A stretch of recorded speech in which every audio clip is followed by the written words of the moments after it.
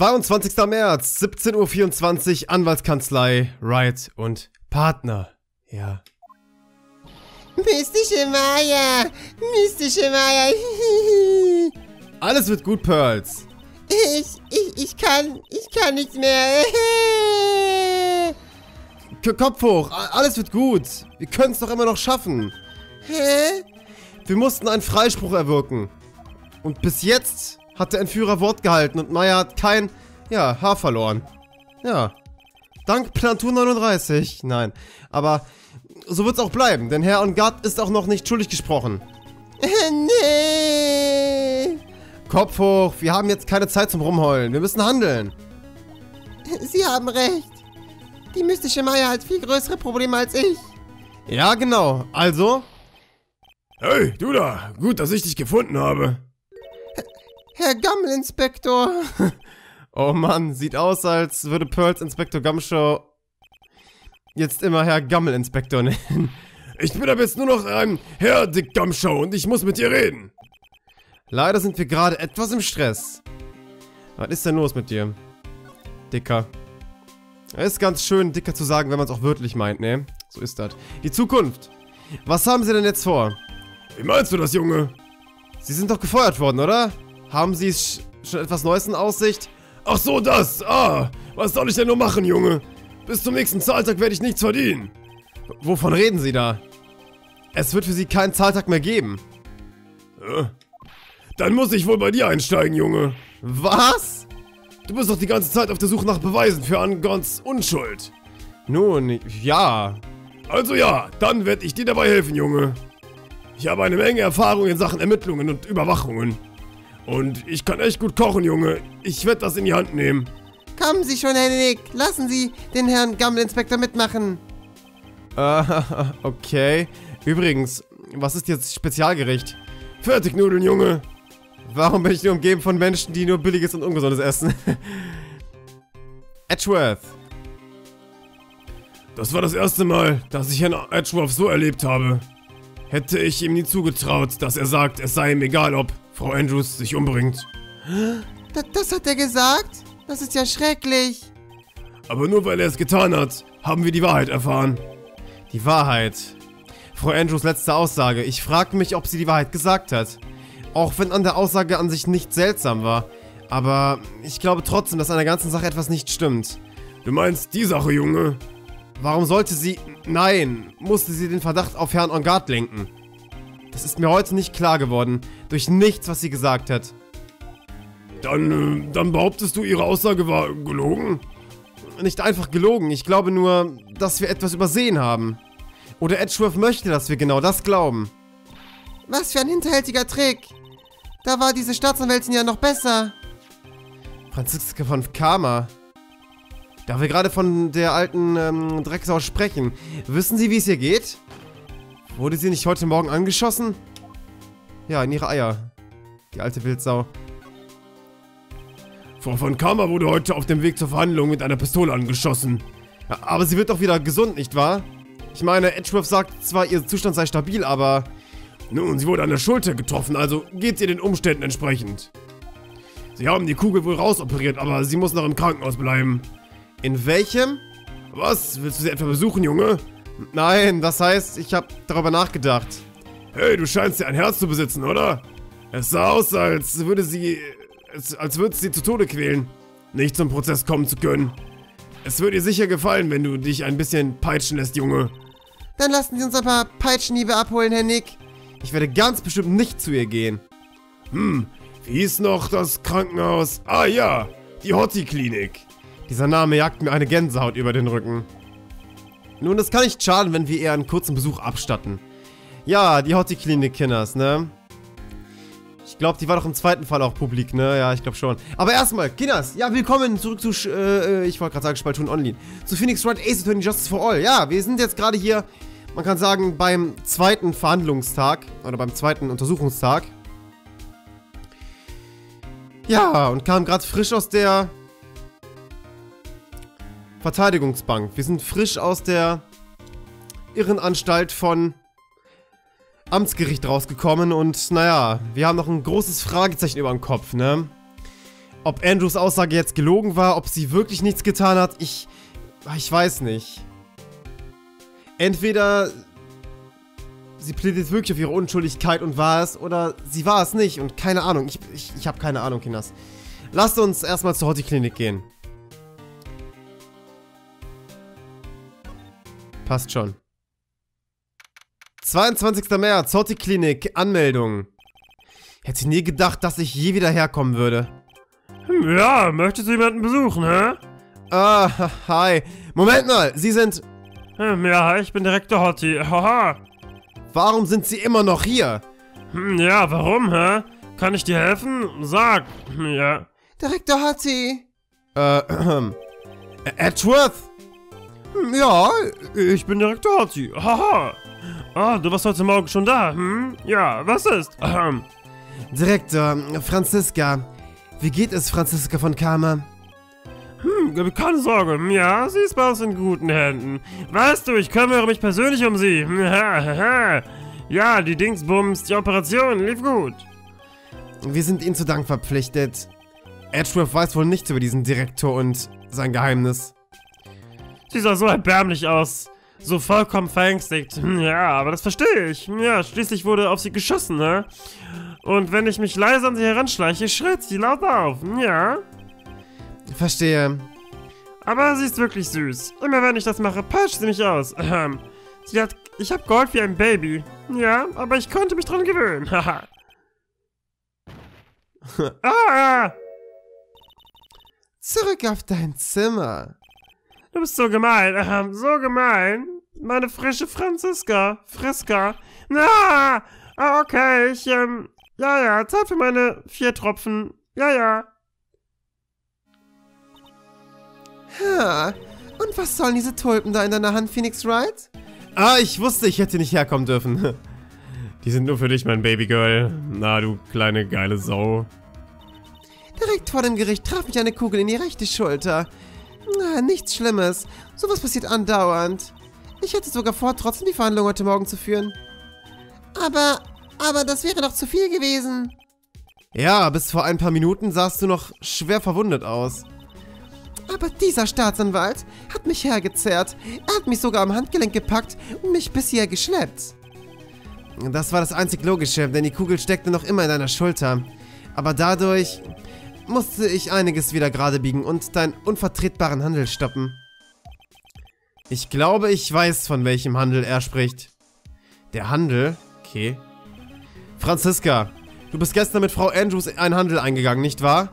Ich weiß nicht, wovon du redest. Um sicherzugehen, dass Herr Ongard schuldig gesprochen wird, sagtest du Frau Andrews, dass sie heute vor Gericht die Aussage verweigern soll.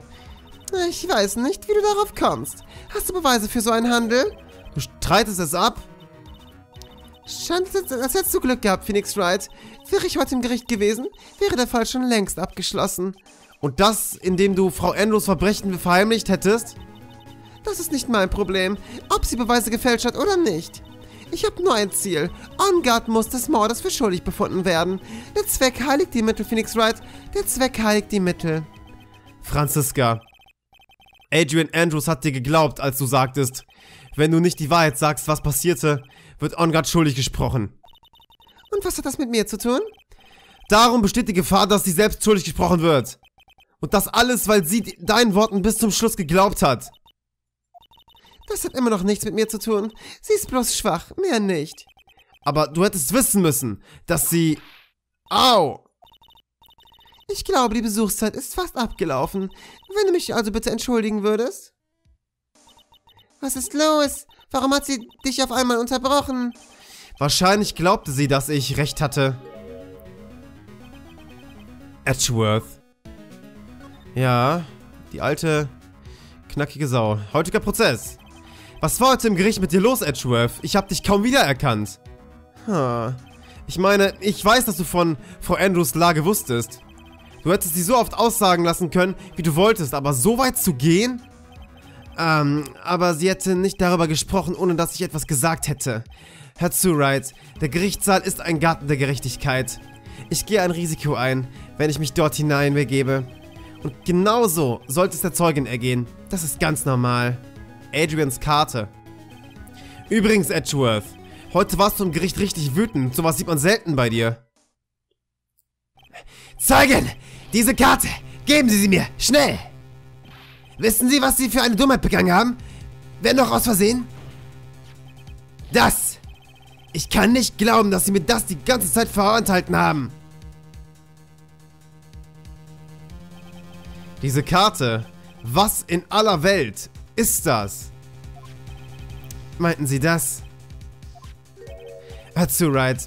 Was ich jetzt sage, ist top geheim. Kein Wort darüber. Seit einigen Jahren gibt es eine Sonderermittlungs... eine Sonderermittlungsorganisation oder auch ein Sonderermittlungsteam. Nur wenige wissen davon. I- Ich verstehe. Ihr Ziel ist es, den Besitzer dieser Karte zu finden. Ein Mann namens Shelly the Killer. Und wie sein Name schon sagt, ist er ein Killer. Ein Mörder. Der Beste. Ein Mörder? Motivkarte zur Gerichtsakte hinzugefügt. Das klingt knackig, ne? Profimörder, okay? Wer ist dieser Shelly the Killer? The Killer, das ist der Name einer langen Reihe von Mördern. Lange Reihe? Ich habe gehört, der Name tauchte vor 100 Jahren das erste Mal auf. Shelly heißt der dritte Erbe des Namens The Killer.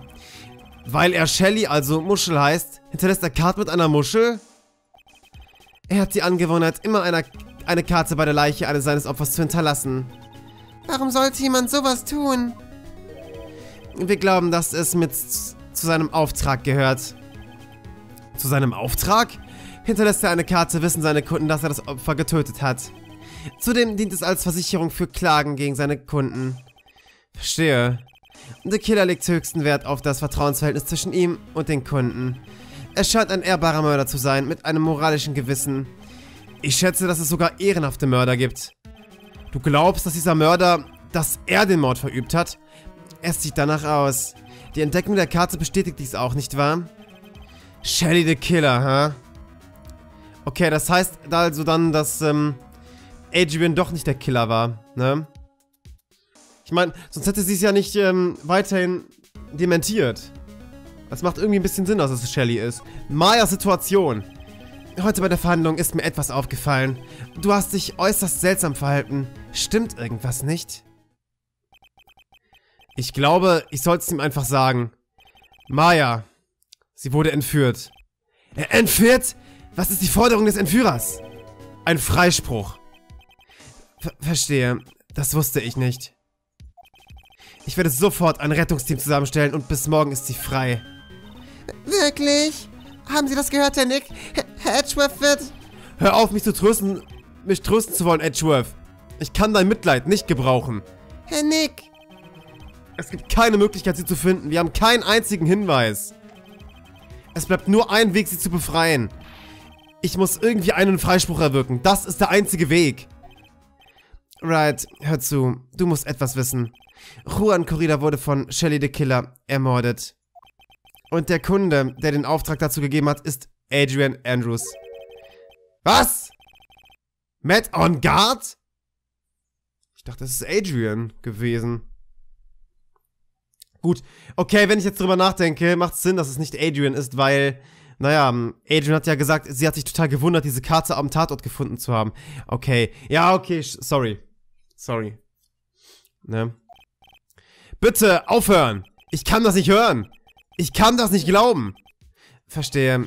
Nun, wenn du mit deinen Ermittlungen fortfahren willst, brauchst du das hier. Was ist das?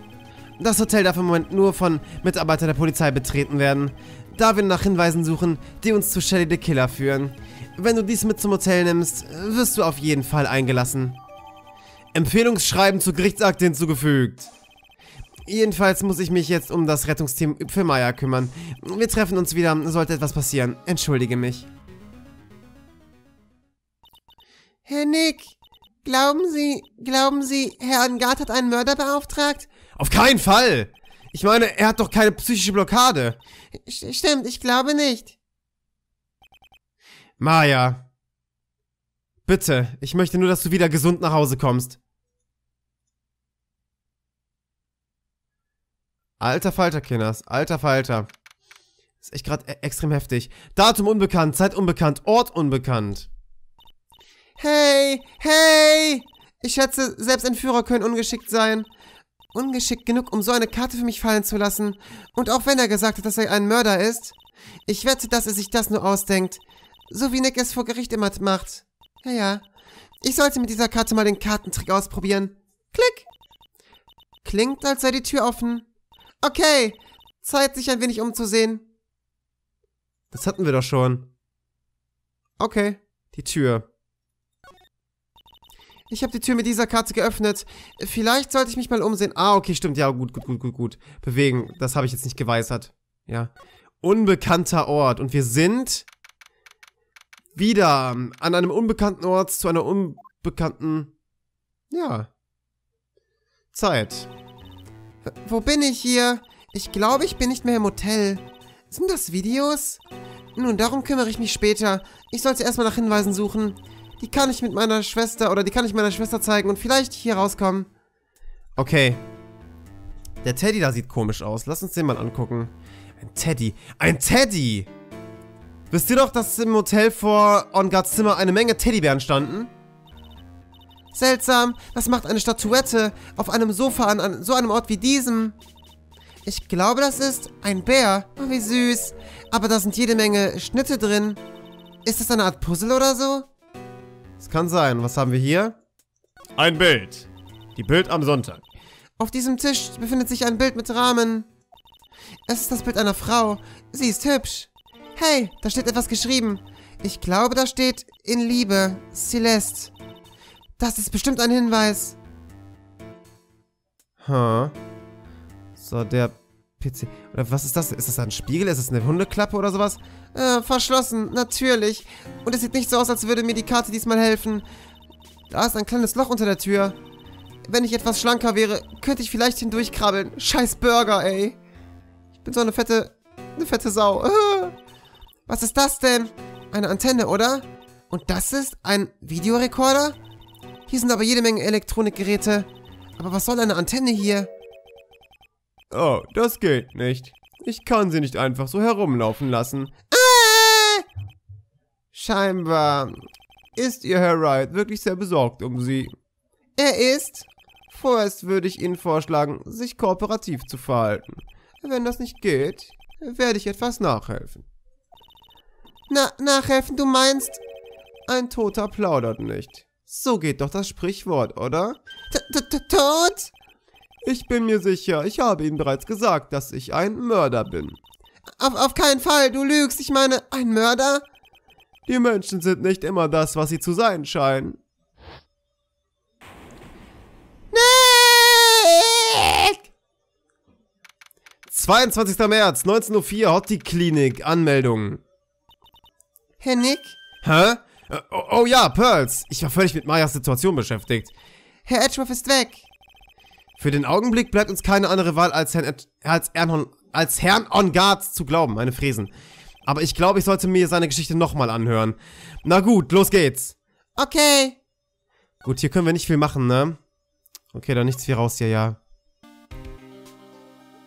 Ja, mit Gumshow müssen wir jetzt auch nicht reden. Wir gehen in die Strafanstalt. Auf geht's. 22. März, Strafanstalt, Besucherraum. Tut mir leid, aber die Besuchszeit ist für heute vorbei. Ach. Ah, es gibt zu viele Fragen, die ich stellen muss. Äh, entschuldigen Sie, aber ich bin Phoenix Wright, der Anwalt, einer der... Sie sind Herr Wright? Oh, stimmt. Ich habe hier eine Nachricht für Sie. Eine Nachricht? Von Matt on Guard. Ah, hier, bitteschön. Was hat er geschrieben? Ist das was Wichtiges? Keine Ahnung. Nun, mal sehen, was da steht. An den Anwaltstypen. Ich muss Ihnen was echt Wichtiges mitteilen. Warum habe ich auf einmal so ein komisches Gefühl? Ja, ja. Oh, Herr Wright. Also eigentlich wollte ich Sie um einen Gefallen bitten.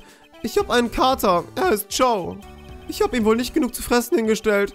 Er wird ziemlichen Hunger haben. Würden Sie bei mir zu Hause vorbeifahren und Joe für mich füttern, Alter? Mein Haus ist nicht weit weg vom Hotel, okay? Okay. D das ist, das ist schrecklich. Machen wir schnell, wir müssen den Kater füttern. Bestimmt knurrt ihm schon mächtig der Magen. Ja, ich schätze, Mets Notiz in Tasche gestopft, okay? Die Bitte eines Mandanten ist mir Befehl. Wir sollten mal nach dem Kater sehen. Und danach taucht er bestimmt auf. Ja, ist schon okay. Kommt, ist egal. Ha. Wo haben wir denn seine Wohnung? Wo ist denn die? Oder muss ich erstmal von der Kriminalabteilung darüber gehen? Das kann sein, das kann sein. 22. März, Polizeirevier, Kriminalabteilung. Wow, alle sehen furchtbar beschäftigt aus. Hm, sie bereiten wohl die Beweise für die morgige Verhandlung vor. Hey Mama, schnell damit. Klar, lass die Opferliste rumgehen. Was für ein Unfug, da stehen über 100 Namen drauf. Ähm, Herr Nick, ist Herrn Gard ein wirklich schlimmer Krimineller? Vergiss es, Pearls. Die arbeiten wohl an einem ganz anderen Fall. Ganz bestimmt. Ja, ja. So, wo ist denn seine scheiß Wohnung? Da muss ich... Hä? Wo muss ich denn hin? Was stand denn nochmal in der Notiz drauf? Auf, dem, auf der Notiz drauf, so. Ist nicht weit weg vom Hotel. Okay, das heißt, wir müssen erstmal in die Lobby. Okay, alles klar. Gut. Ich wollte gerade sagen, so, äh... Willst mich irgendwie vollkommen verarschen? Aber okay. So, auf in die Lobby, Kinders. 22. März, Hotel Gatewater, Lobby. Gut, Herr Nick. Suchen wir nach Hinweisen. Es geht um die mystische Maya. Ihr kommt hier nicht vorbei. Äh, Frau Oldbeck. Werte meinen Namen nicht so ab und lass das Gekeuche, du Igelkopf. Wegen dir stehe ich wieder wie die Böse da, obwohl... Edgy Boy hat mir sogar einen Kaugummi geschenkt. Wie er es versprochen hat, aber... Eigentlich wollte ich was Wertvolleres. Ich wollte Edgy Poos Herz. Es ist alles deine Schuld. Du hast das Biss in mir geweckt. Nee. Ah, Frau Oldbeck. Rühr mich nicht an. Der Helm ist luftdicht. Da kommt keine Luft rein und keine Luft raus. Hm, was hat denn Ihr Helm mit allem zu tun? Tja, du kannst mir noch so dämliche Fragen stellen. Ich rühre mich nicht vom Fleck. Wenn du vorbei willst, musst du wohl oder übel gegen mich kämpfen. Das habe ich nicht gehört. Abend des Mordes. Ähm. Ha! Bist eine Million Lichtjahre zu früh dran, um mir Fragen zu stellen, gerne groß? Äh, der einzige Weg, meine Ermittlungen durchzuführen, ist dieses Überkandi... Überkandi... Was? Überkandidelte Alien loszuwerden. Überkandidelt, okay. Kandidelt. Kandi Kandidell? Keine Ahnung. Okay, sie redet überhaupt nicht mit uns. Bei keinen einzigen Dialogen redet sie mit uns. Alte Wildsau. Schade, dass wir kein Kaugummi für mich, für, für dich haben, ne? Hm. Oder muss ich hier dieses Empfehlungsschreiben zeigen? Hm. Vielleicht, wenn ich ihr diesen Brief von Edgeworth zeige? Ähm, Frau Oldbeck, würden Sie sich das hier mal ansehen? Was? Ich soll mir dieses wertlose Stück von... Edgy Poo. Oh, ist das Ihr Parfüm Pheromon der Liebe, was da so riecht? Oh. Mal sehen. Würden Sie dem ungehobelten Jungspund freundlicherweise die Ermittlung gestatten? Mit herzlichen Grüßen, Miles Edgeworth. Mit, mit herzlichen Grüßen? Ja, was für ein Charmeur. Fein, aber nur weil Edgy Poo es so möchte, verstanden? Empfehlungsschreiben, Frau Oldbeck, gegeben. Ich hab jetzt zu tun und mach nichts kaputt. Wenn du irgendwas anstellst, setz ich dich vor die Tür. Sie scheint starke Gefühle für Herrn, Anga für, für Herrn Edgeworth zu hegen. Ah, Fangirl tot. Könnte sein, aber es wird ihr nichts nützen. Das ist so gemein, Herr Nick. Man sollte seine Gefühle herauslassen und teilen. Ah. Immer wenn wir über Liebe reden, habe ich nachher einen Handabdruck im Gesicht.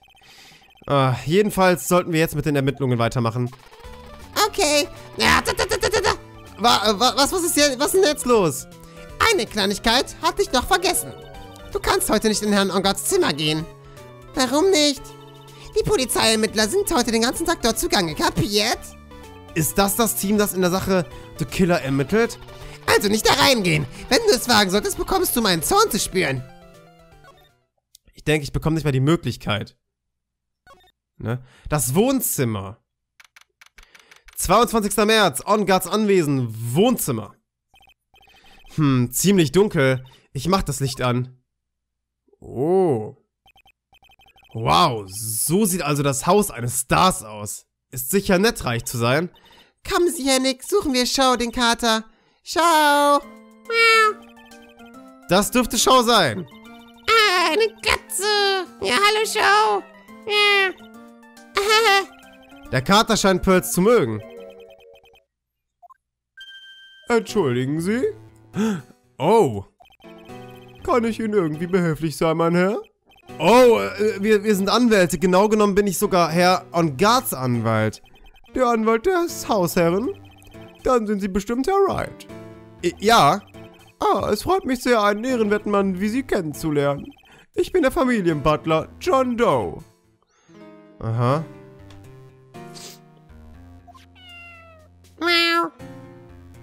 Okay, Leute, das ist der Butler. Puh. Ich gehe aber nochmal zurück in die Lobby, um zu gucken, ob wir nicht da noch irgendwas erledigen können.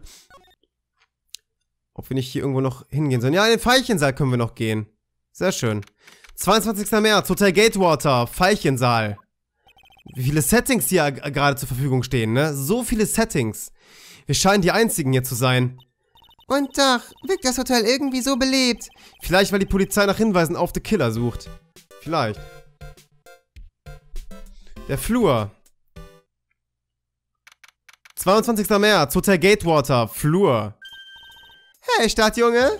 Äh, Lotta, Sie sind immer noch hier.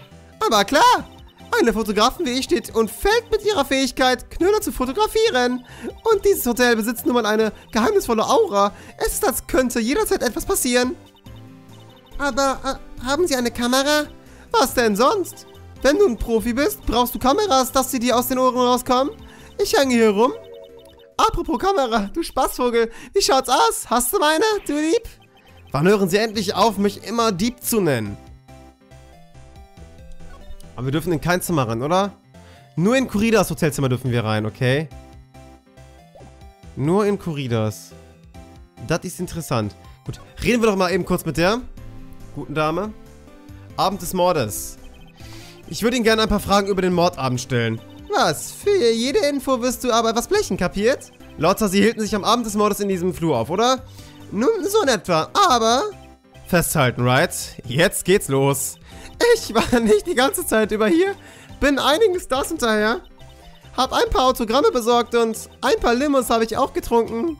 Sieht aus, als sei sie nicht den ganzen Abend hier gewesen. Und die Wachfrau war auch nicht die ganze Zeit über im Flur. Dann kann uns wohl niemand sagen, wer an diesem Abend hier kam und ging. Das muss man so sagen, ja? Was die Notiz in ihrer, naja, Kameratasche angeht. Ah, der Artikel, den ich geschrieben habe. Ja, stimmt das, was sie da geschrieben haben? Du meinst, Du meinst das Zeug darüber, wie On Guard seine Managerin auf Corrida angehetzt hat? genau. Äh, nun, das solltest du vielleicht besser nicht für bare Münze nehmen. Wie bitte? Das war einfach eine Laune. Ich habe einfach geschrieben, was mir in den Sinn kam. Was Ihnen in den Sinn kam? Ja, wenn du es dir mal näher ansiehst, ist es nicht als gequirlte Scheiße. Aha. Aha. Hey, was ist denn? Warum guckst du aus der Wäsche wie mein alter Opa? Hm. Hey, und warum siehst du auf einmal aus wie, naja, wie viel älter? Oder bin ich geschrumpft? Ähm, Ja, kann man so sagen. Ah, mein Baby, meine 1600 Dollar Kamera. Was ist eigentlich mit diesem Staatsanwalt mit der roten Jacke los? Der Typ sagte, es sei ein Beweisstück und wollte sie mir nicht zurückgeben. Nun, so läuft das meistens. Hey, hey, du kennst die Rotjacke doch, oder? Leg ein paar gute Worte für mich ein und bring mir meine Kamera zurück. Ich soll was? Quassel den Typen einfach fünf Stunden zu, dann gibt er sie dir schon zurück. Warum erledigen Sie das nicht selbst? Ah, nun, ich schätze, ich muss da mal los. Eine Klatschfotografin ohne Kamera ist nichts als Klatschen. Äh, ja, stimmt wohl. Immer weiter so, klar? Wir sehen uns morgen im Gericht. Äh, okay, dann bis, bis dann. Und du auch, Kleine. Weiter so, okay? Okay. Und sei nicht so pingelig mit dem Essen. Okay. Und mach schön deine Hausaufgaben, hörst du? Okay. Und wenn du eine Kamera findest, bring sie gleich zu mir. Würden Sie bitte einfach gehen? Okay, das ist schon mal ziemlich ähm, verrückt, was hier alles so passiert. Aber ich würde sagen, Kinders, wir machen hier beim nächsten Mal weiter. Von daher gesehen, Kinders, macht's gut. Haut rein. Ciao.